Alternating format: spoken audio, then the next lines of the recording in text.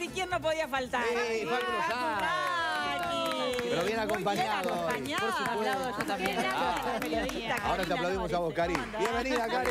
Muchas gracias por venir. Gracias por la invitación. ¿Cómo andan? Un placer. Bien. ¿Ustedes? Bien. Traje a Karina para hablar de un tema que está arriba de la mesa en el último tiempo, que es la reconversión de LinkedIn en, en, bueno, esta red social que está, se presenta más que nada como su carta de presentación podría ser la red más profesional de todas, este, que funciona básicamente para nuclear gente, de nuclear gente a nivel laboral. Al principio se creía que era como un portal más, más para conseguir trabajo, ¿no? Pero a- algunas este, estadísticas hablan de la revista Forbes, hablan que solo el 20% de los usuarios están ahí para conseguir trabajo y el otro 80% Entonces, ¿para qué están? les interesa alimentar el networking, les interesa estar conectado con otros profesionales. Los periodistas, por ejemplo, consiguen fuentes a través eh, de Ah. LinkedIn o pueden conseguir información, acceder a datos. Es una red social donde eh, está pensada más que nada para, para el ámbito laboral y que se mueve un poco más en esos términos, ¿no? Y que es un poco más seria, entre comillas, Ahora, que algunas otras redes. Decime si no, díganme los dos. Tengo la sensación de que en los últimos años tomó más protagonismo, que se amplió, ¿no? Como decíamos, a otras áreas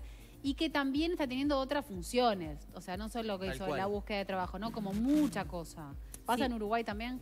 Sí, a ver, no tenemos cifras específicas de Uruguay. En realidad LinkedIn o LinkedIn, como quieran decirle, eh, está desde el año 2003, es decir, casi el mismo año que Facebook. Sí. O sea que viene de lejos, pero era muy, muy de nicho. Realmente era muy profesional, era de temas la- bien, Claro. bien profesionales, con nichos muy claros que tenían que ver con em- emprendedurismo, empresas, digitalización. Lo que pasó en los últimos años, y particularmente en este año, que tuvo un crecimiento, sí, a nivel mundial importante, no solamente de usuarios, tiene 690 millones de usuarios, que parece, está, eh, no sé, Muchos en Latinoamérica. muchos en Latinoamérica, Ah. pero no son, siempre cuando se cuentan los usuarios de las redes sociales hay que tener cuidado porque son usuarios que están, sí, ahí, entre una vez por año. Claro, el tema Claro. es que, Entro efectivamente y me lo- encuentro con 20 usan. invitaciones, con 200 Esa es la diferencia entre Claro. usuarios y usuarios activos. Exacto. Pero lo que sí notaron, eh, por lo menos en el último reporte que vi de abril de Microsoft, porque ahora LinkedIn es de, de Microsoft desde 2016, es que aumentó la cantidad de tiempo que la gente está ahí. Que esa es la muestra que, que está interactuando. Que esa es la muestra de que está cambiando. Aumentó Claro. como 25 a 27% y puede haber aumentado más en estos últimos meses. ¿Por qué? Bueno, tenemos hipótesis. Eh, en primer lugar, se empezó a meter muchísima gente eh, que no, no tenía ese perfil tan como profesional, Claro. ejecutivo, entre comillas. Eh, y además lo que, lo que yo estoy viendo personalmente en el día a día es que se estaban hablando de más temas. Y ahí creo que hay como un- una mm, transmisión del quechengue de Facebook, Claro.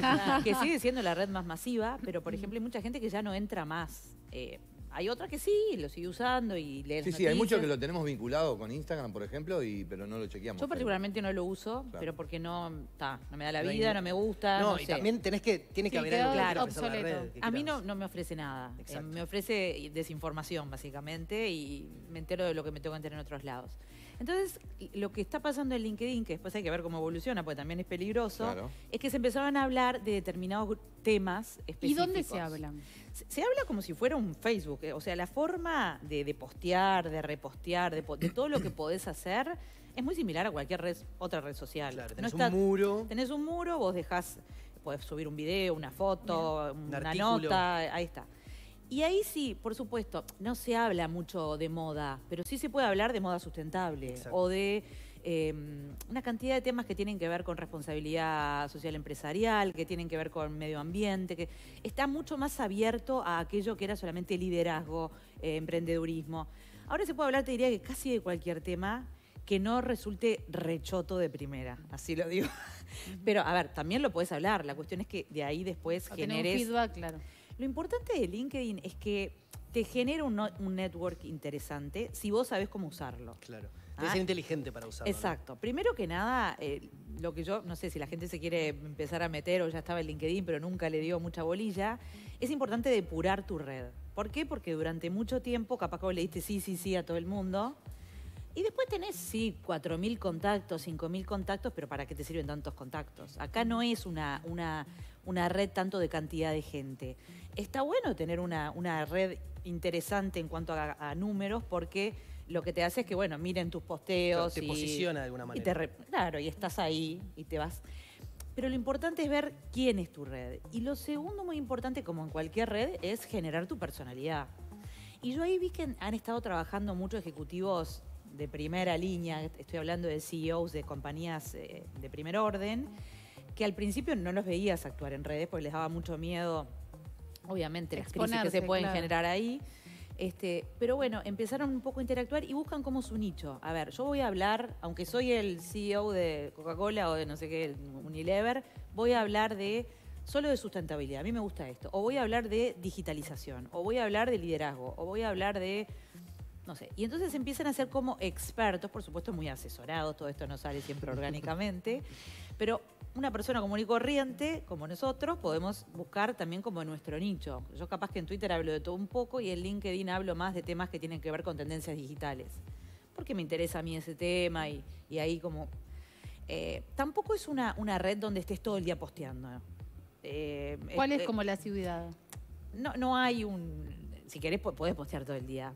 Pero yo creo que un posteo por día ya es como muy. Un compromiso. Un, un compromiso. Porque además, como que le pones algo tuyo. Y se Puede le- ser. Claro. Es como un mini, un mini blog. ¿Y se le da importancia a la imagen? ¿Tiene publicidad comercial también? Igual que Tiene las otras todo redes? y están cada vez más con la publicidad. Eh, de hecho, el primer consejo que se le da a los que empiezan a usar LinkedIn o a los que tienen una cuenta ahí media dormida es miren su perfil y optimícenlo. Optimizarlo significa de verdad poner, bueno, primero estéticamente tener cuidado, es un, es un perfil que se mira como, como, si- como si mirarías un currículum en algunos casos. Bueno, es que en- Claro. de alguna manera Es una especie nació de... con ese exactamente. Sigue siendo No por lo Que que podés- se llaman los recruiters. Claro, los- la, la información que podés cargar es similar a la de un currículum. Es como currículum, de hecho hay algunas herramientas que después te lo convierten en, en currículum cuando no tenés ganas de hacer una cosa, pero entonces, eh, primero que nada, antes de ver, la gente en general pone su currículum, pero tenés este, un fondo ahí de por defecto, que son unas estrellitas, tenés una foto, no es una foto de las vacaciones generalmente que Claro. tenés que poner ahí. ¿no? ahí hay, muy ahí hay que tener criterio de hablar. No, un, criterio estético está bueno. Después hay un resumen, un pequeño resumen que la gente en general no lo llena y es lo que primero se mira, porque bueno, es como a golpe de vista.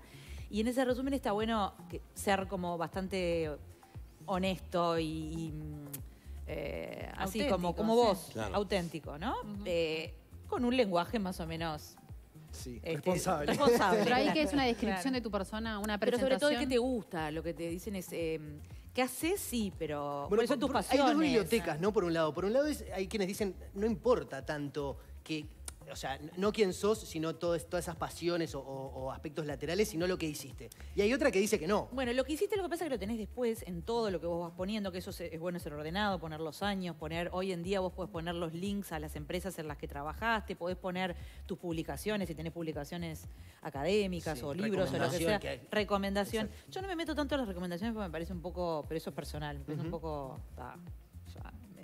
Sí. Pero sí, también funciona. Después puedes crear, por ejemplo, con tus equipos de trabajo, ustedes podrían crear su LinkedIn y estar como mínimamente en contacto y recomendarse mutuamente. Eh, tener tu perfil bien, bien definido está bueno. Eh, lo de tus pasiones es, a ver, eh, me gusta, no tampoco decir me gusta andar en bicicleta, no, Claro. eh, es como relacionado siempre a lo laboral. Y ahora tiene una función que para mí, o yo la descubrí hace poco, y ellos te piden que vos eh, definas si estás buscando trabajo, y eso puede quedar privado para los que los que le llaman eso, los reclutadores, Claro. es decir, la gente que trabaja en, en recursos humanos. Entonces vos podés decir, sí, estoy a la búsqueda de trabajo sin apuro, ¿qué te interesa? Me interesa medio tiempo, por contrato, día entero, me interesan qué, em, qué tipos de puestos, y ahí podés definir puestos. Y si después hay anuncios que tienen que ver con esos puestos, te lleva una alerta. Bueno, eso te iba a preguntar. ¿Qué pasa con los anuncios de, de trabajo? Como el LinkedIn como bolsa de trabajo. Eh, yo estuve buscando cifras y no así encuentro las que vos encontrás. Sí, 20% consigue trabajo a través de LinkedIn. Lo que te puede dar es como, para mí, visibilidad, ¿no? Claro. Eh, no necesariamente que estás buscando Pero trabajo. podés, podés, eh, es común encontrar como una oferta de trabajo, ofertas de trabajo en, en No, no tanto. Yo, yo además no soy la que más mira los avisos, porque soy como, Claro. por defecto, viste que los, los- los desaparezco. No me maten, pero es así. Eh, pero sí podés tener que te contacte alguien. Después hay un, hay un hay un servicio pago, que yo no lo pago, pero, pero que te da más posibilidades de saber quién miró tu perfil. Entonces vos ahí directamente ves si, si alguien se interesó por vos, si podés hacer alguna movida para, Para llegar. lo que no sirve es la movida más este, burda de escribir todo el tiempo a alguien, ¿no? Claro. Eh, Claro. Podés contactar a alguien, sí, está bueno, porque es una buena forma de buscarlo, pero no este, pedir trabajo directamente desde ahí. Ojo, puede dar resultado. Yo no lo he hecho. A ver, todo, todo es posible. Claro. Eh, es un lugar donde se está más atento a tu perfil profesional que evidentemente en Facebook, que en Twitter, donde yo creo que también eh, por eso se dio todo ese traspaso de gente porque se empezó a armar mucho lío en otras redes. Claro. Claro. Claro. Eh, pero Está bueno, limpia por ahora LinkedIn. más o menos limpia está, no ves todavía ese tipo de cosas. ¿Le ves más pero crecimiento también a esta red? Está muy bien para lo, o sea, está muy bien. Yo creo que este año va a crecer. A fin de año vamos a ver números de más crecimiento, sobre todo en eso, lo que se llama engagement, que es el tiempo que vos pasás ahí. Claro. Yo veo a la gente que está posteando más. Eh, y eso demuestra que. Bueno, post pandemia también, ¿no? Seguramente tienen, tenga que ver en Sí, algo. en la pandemia sirvió mucho porque no hay networking presencial. Entonces, Claro. cuando vos te juntabas en un eh, evento de algo, ahora es mucho menos. Claro. Eh, entonces ahí podés tener como una, una posibilidad. Eh, y después habrá que ver qué pasa. Es una red igual. Eh, no- nunca va a sustituir el cara a cara en algunos momentos. duda. pero bueno. Pero se da más comunicación con otros países, de, con gente de otros países. Se da y sobre todo para los que trabajan, por los que pueden trabajar remoto, real, ahí hay algunas posibilidades interesantes. Eh, por ejemplo, algunas empresas que están contratando en Estados Unidos o en Europa y que necesitan a veces hasta horarios cruzados. Pero bueno, eh, te lleva bastante rato investigar todo eso, ¿no? Eh, y meterte. Pero es, es una opción interesante eh, y es una opción para... eh, que yo de, de punto de partida tendría un perfil prolijo. ¿sí? No importa si estás buscando o no trabajo, está bueno tener un perfil prolijo. Está- y decís que está bueno estar. Está bueno estar, sobre todo mm, para mm, ciertos puestos. Capaz que puestos más de servicio no se buscan tanto ahí, pero yo creo que eso también puede No, evolucionar, si tenés- ¿no? Si sos un profesional muy, muy este, específico, con un perfil muy específico, capaz Claro. que también te conviene. Eso sin duda, eso sin duda. No sé, yo estaba mirando el otro día los algunos ejecutivos y hay una mujer que, que era cero redes, Ana Botín, la, la presidenta del Grupo Santander a nivel internacional, que para mí ella personalmente es muy interesante. Y ella pasó de no tener nada de redes a ser muy activa en Twitter. Y ahora vi que tiene su... po- Porque en LinkedIn vos podés tener tu página personal o tu página empresarial. Y ella tiene como una especie de página empresarial donde vos la podés seguir, pero no es que le pidas tener una relación. Claro. Eh, esa es la diferencia. Y está interesante, ella empieza a, a- a postear cosas que tienen que ver muy con su core, que tienen que ver con mujeres, con... eh, y a mí me interesa leer, por ejemplo, lo que ella pone. No es que ella esté buscando trabajo, evidentemente, está Claro. posicionándose ella como ejecutiva y a su empresa Como líder. también como exactamente. Entonces, están esas dos cosas, buscar trabajo, posicionarte como, como referente en determinadas áreas a determinados temas. Eh, yo diría que le- está bueno tener un perfil afinadito, aunque no esté buscando trabajo, porque ya es, un, es una vidriera interesante.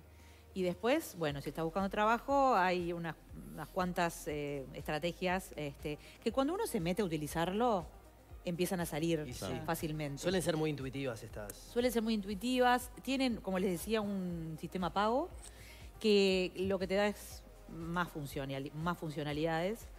Eh, pero hay que ver, en Uruguay no tenemos cifras que No. yo conozca, este, como la mayoría de las, de las eh, salvo alguna encuesta, pero LinkedIn no aparece generalmente en las encuestas. Eh, pero yo, yo estoy viendo mucha gente acá este, interactuando, así Sí. que mm, Ha habido un crecimiento sin duda en, los, en el último en el tiempo. mundo sin duda, y acá se escucha bastante más también. No, y en esto de, de la red como transformándose y mutando, ¿no? Que- Claro. Que, eso también es interesante como fenómeno para observar eh, eh, dentro de la red, más allá de LinkedIn o no LinkedIn. Sobre todo desde 2016, desde que lo compró Microsoft, ellos rápidamente lo juntaron con todos, con todo Su su, microsistema, digamos. Claro, Claro. su ecosistema. Eh, exacto, su ecosistema. Y, y- y ves que ahora, por ejemplo, en tu perfil puedes cargar un video, antes no se podía. Podés cargar cualquier tipo de link, eh, como, como si fuera Twitter o Facebook Claro. o todo eso. Eh, creo que ahí está migrando gente que no tiene ganas de comerse todo el, el ruido. el ruido de otros lados. Del otro lado. Político partidario. Sí, no hay tanta Gracias. política, eh, se ve muy poco. Mejor. Por ahora, esperemos que se mantenga un tiempo así como para tener un respiro. Al menos ahí. hasta las elecciones el año que y viene. si no, y si no ya veremos que surja otra. Mutará. Porque esto, Tal cual, tal esto cual. ya va a surgir otra. Gracias, Facu. Karina, gracias. Gracias. Gracias. Nos vamos al móvil. Dale,